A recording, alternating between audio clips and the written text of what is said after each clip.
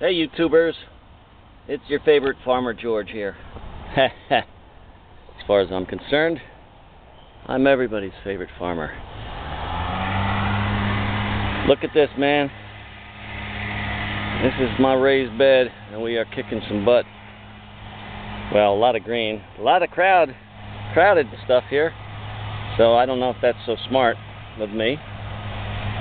But I keep picking and it keeps growing. I got the Swiss chard over here. I got some lettuce over here, loose leaf lettuce. I got some red beets over here. I've already picked about four of those guys. Tomatoes in the middle, staked down the middle.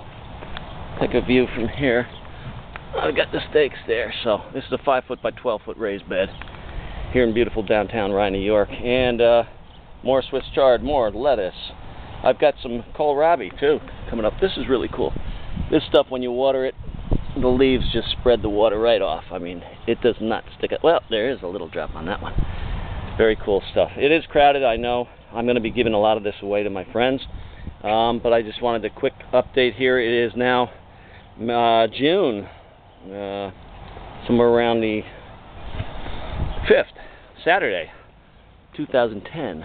I've got a zucchini plant here that I didn't think I planted. Maybe I did, or maybe I don't know. I've got three zooks in there somewhere. Starting out already. You can see at the end of that flower. There's. I've got beans. I just uh, took a bunch of the the peas, the snap peas. I've got some new radish growing here. I've had already a couple harvests of radish. I love radish. And the carrots are in there growing nicely. And of course the onion surrounding the raised bed every six inches or so potatoes growing in buckets over here.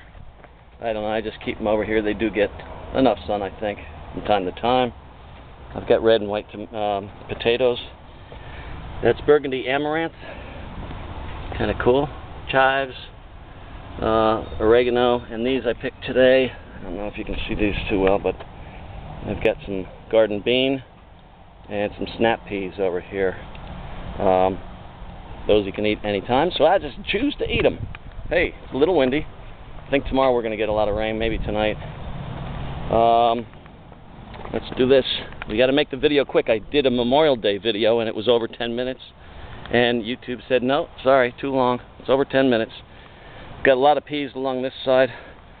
Uh, I've got some tomato here, cherry tomato. I'm not going to make you seasick. Um, you might get sick of my voice, but uh, I'm not going to jerk the camera around too fast for you. Oh, those of you who wanted to see my Johnson, here's my German Johnson.